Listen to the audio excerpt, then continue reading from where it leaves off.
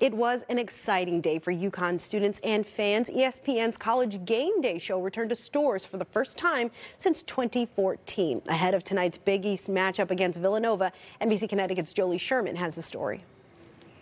The stands are packed with students. Some of them got here at 3, 4 in the morning. Others camped outside just to be here and take in all the excitement.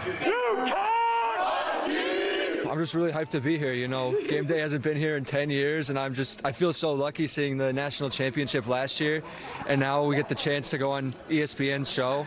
I'm really excited. Students brought the energy, the face paint, the posters. So obviously it says we, I camped this thing for 27 hours. Well, we got 16 natties with the men and the women, and the men just got their fifth one. UConn junior Naja Dumas showed her excitement in another way. We found her outside Gampel Pavilion in a tent. To say that we're passionate about the Huskies is an understatement and students say it was worth the wait to see ESPN broadcast live right from the court, right where ESPN hosted the first edition of College Game Day back in 2005. I'm seeing all these people on TV now they're like right in front of my face. I'm seeing them walk out right in front of me. It's super exciting. ESPN's college pregame show has been hosted at Storrs four times.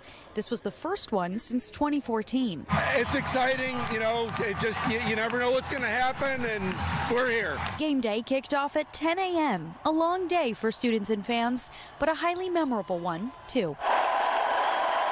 In Storrs, Jolie Sherman, NBC Connecticut News.